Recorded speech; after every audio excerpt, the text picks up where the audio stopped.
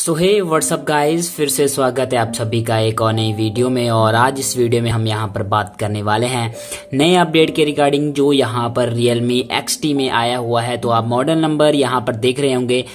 M X one nine two one और C dot zero two का update आपको यहाँ पर देखने को मिला हुआ है। Realme XT में यह सेकंड अपडेट है। Realme UI का जो अभी अभी रोलिंग आउट होना स्टार्ट हुआ अगर आपने अपडेट नहीं किया जाकर के देख लीजिए। शायद आपके सॉफ्टवेयर अपडेट में आपको अपडेट मिल चुका होगा। तो साइज़ की बात करें तो three point five G B आपको साइज़ देखने को मिलता है। और अगर हो सका तो मैं आपको लिंक डिस्क्रिप्शन में प्रोवाइड करवा दूँगा अगर मेरे पास लिंक आ चुका आएगा। तो मैं आपको प्रोवाइड करवा दूँगा। अगर नहीं आएगा तो मैं नहीं कर पा पाऊँगा बट मैं फिर भी कोशिश करूँगा पूरी लिंक प्रोवाइड करवाने की।